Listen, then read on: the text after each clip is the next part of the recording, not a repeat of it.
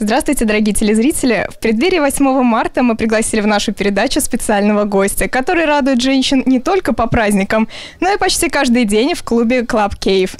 Знакомьтесь, Виктор Шалаев.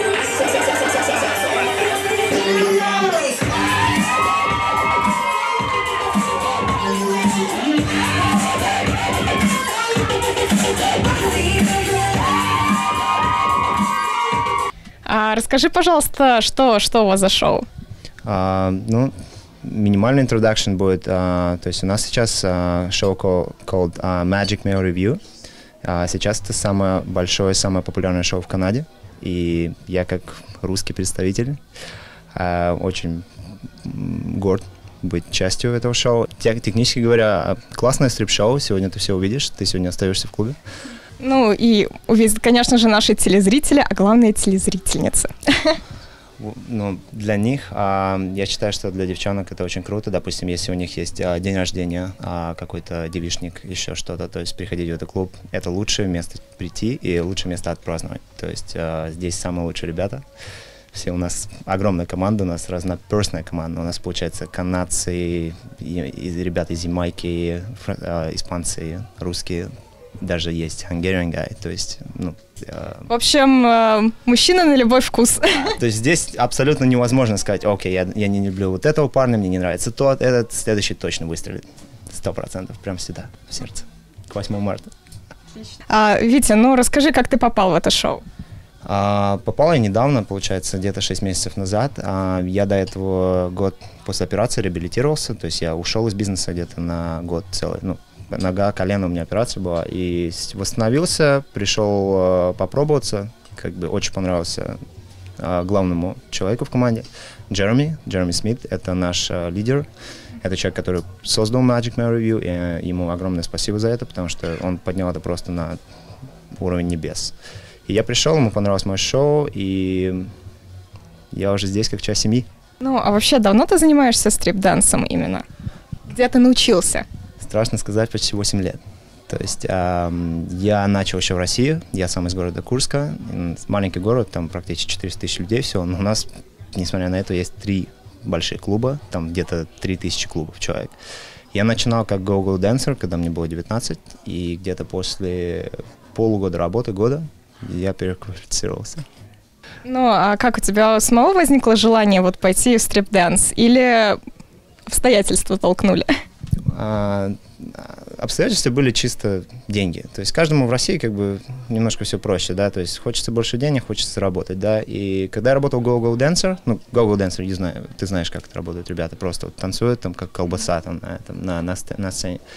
А у нас, короче, наши стриптизеры в клубе, наши, которые вот именно клубные, они увольнялись. И они как бы уходили на пенсию. И к нам подошел а, арт-директор, ко мне еще одному мальчику, говорит, ребят, вы, вы так немножко выглядите как стриптизеры. Вы хотите, занимайтесь, мы вам дадим шанс. Ну что я буду там приглашать каких-то людей откуда-то, когда я могу своих воспитать.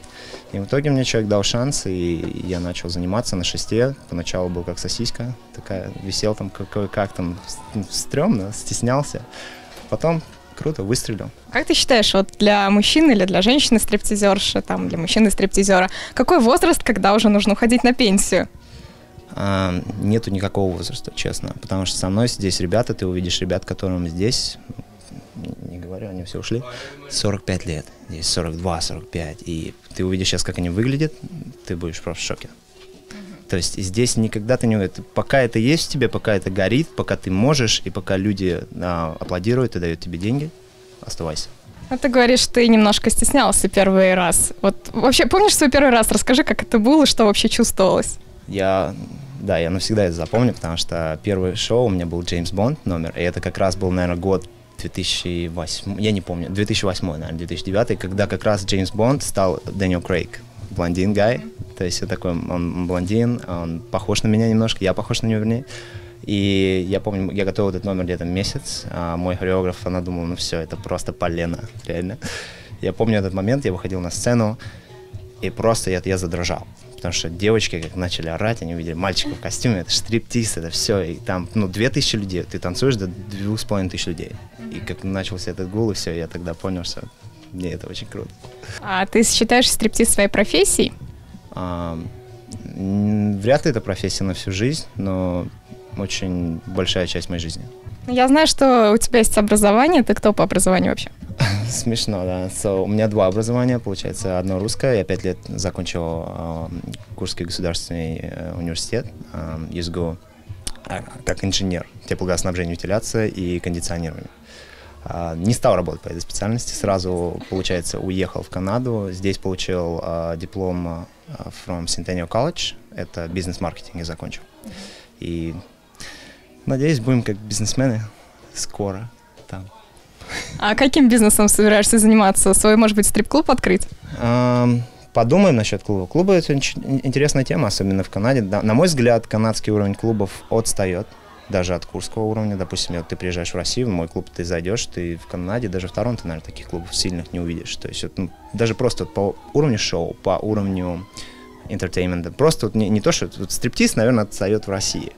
Но именно в, клуб, в клубной индустрии очень много вещей, которые я бы принес из России сюда. И вполне, вполне возможно так. Традиционно почему-то многие воспринимают стриптизеров как э, представителей секс-меньшинств. Вот насколько реален ли этот миф?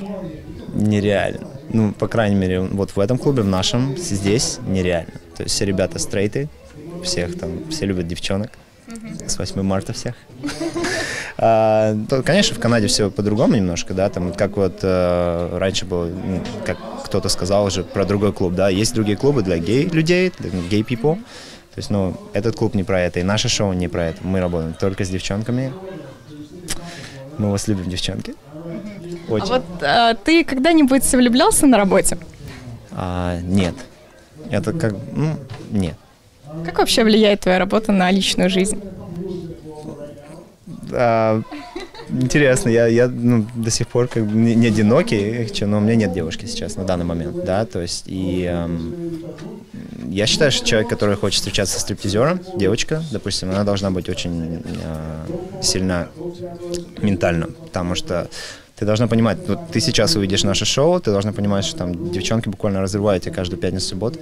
Тебе нужно быть готовой. Если ты хочешь быть встречаться с... Это, это не значит, что прям он там кинется и будет изменять тебе там каждый но тебе нужно быть к этому готовы. И ну, не все хоть, не, не все такое любят. Бывает, что хочется вот изменить, или бывает, что вот э, нравится кто-то, или наоборот очень-очень страшно и вообще не хочется танцевать. Вот как в таких случаях?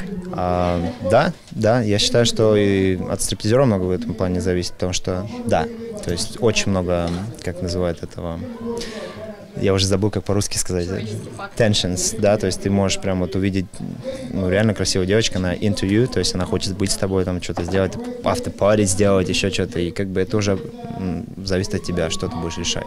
Но, опять же, это и ты должен быть ментально строен, то есть силен в этом плане, чтобы сказать «нет, я не хочу, у меня есть девочка». В этом и суть. Когда приходит женщина, допустим, ей за, ну, за 50, она не выглядит как модель, да, там, то есть то есть наша задача, наоборот, чтобы она ушла отсюда с улыбкой. То есть мы все равно для нее станцуем, она все равно выйдет на сцену, мы прямо похлопаем ее там, где надо. То есть, ну, человек где она еще, допустим, она сможет такое почувствовать, да, то есть на улице вряд ли она встретит такого парня там шести кубиками пресса, и он там с ней что-то там сделает, да, ну это прям в сказке про Золушку, да, еще такое.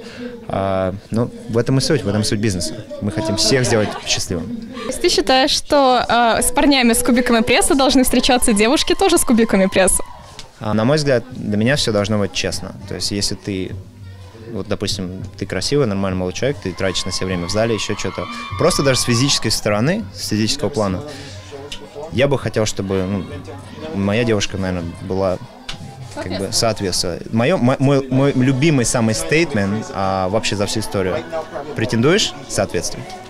Ну и возвращаясь к твоей профессии, скажем так, а, вот а, я слышала, что многие девушки, стриптизерши, выбирают себе прозвище, там, черри, там, кристалл, бренди, соответствующие напиткам или каким-то сладостям. Вот а, у вас есть какие-то прозвища у тебя конкретно? Uh, мое stage name Данте. So, я себе выбирал просто...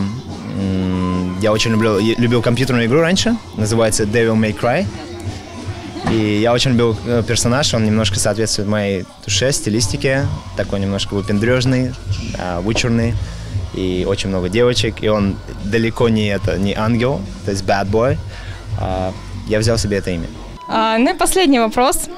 А, в преддверии 8 марта пожелай, пожалуйста, что-нибудь нашим телезрительницам. А, дорогие девчонки, я хочу вам пожелать, чтобы на 8 марта, и не только на 8 марта, вы всегда себя чувствовали счастливыми, вы всегда себя чувствовали красивыми, улыбались, были счастливы. И э, если вы вдруг чувствуете, что что-то не так, приходите к нам в клуб Кейв. Мы постараемся сделать так, чтобы все было так. Окей? Okay? Вы будете улыбаться, вы будете счастливы, и вы уйдете с улыбкой на лице. Welcome.